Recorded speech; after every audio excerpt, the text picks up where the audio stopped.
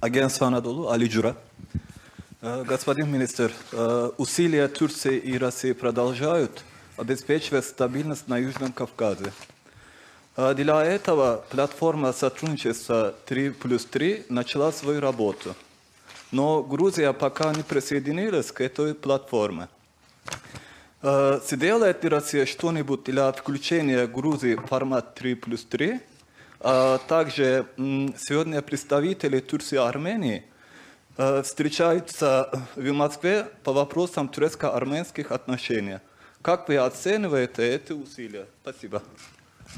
Эти усилия, безусловно, мы, мы поддерживаем, мы в них активно участвуем. Они способствуют нормализации обстановки на Южном Кавказе и помогают э, создавать условия для того, чтобы сохраняющиеся еще политические проблемы решались гораздо более активно, э, более плодотворно, э, путем в том числе развития экономического и иного сотрудничества между тремя странами Южного Кавказа и тремя их большими соседями – Россией, Турцией и Ираном. Насчет, кстати, идея а, формата 3 плюс 3 была активно поддержана нами, когда ее а, первым упомянул а, президент Алиев, а затем президент э, Эрдоган. Мы сразу увидели очень хороший объединительный потенциал в этой инициативе. И сразу же, с первых же дней ее обсуждения и при подготовке к состоявшейся в Москве встрече, выступали за то, чтобы э, наши грузинские соседи также были вовлечены в этот процесс. Исходя из того, что чем больше возможностей для общения, а тем, наверное, э, лучше для э, решения остающихся, остающихся проблем. Сейчас мы с грузинскими коллегами э, общаемся в рамках женевских дискуссий по Закавказью, где обсуждаются последствия агрессии Грузии августа 2008 года и в рамках неофициального двустороннего канала, который создан был между Москвой и Тбилиси достаточно давно. Но э, процессы, начатые э, в, формате 3 плюс 3, э, они гораздо более значимые, на мой взгляд, потому что обсуждаются в этом формате перспективы развития всего этого региона. Теперь, когда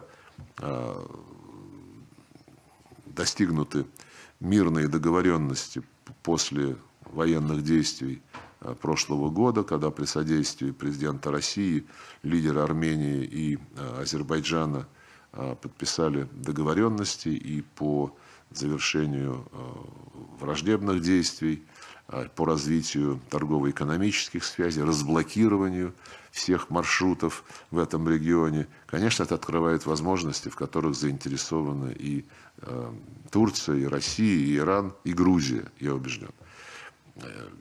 Мне кажется, что в их интересах присоединиться к этому формату без предварительных условий. Ну, можно договориться, что мы обсуждаем здесь, в этом формате 3 плюс 3, исключительно э, темы, которые представляют интерес для всех участников.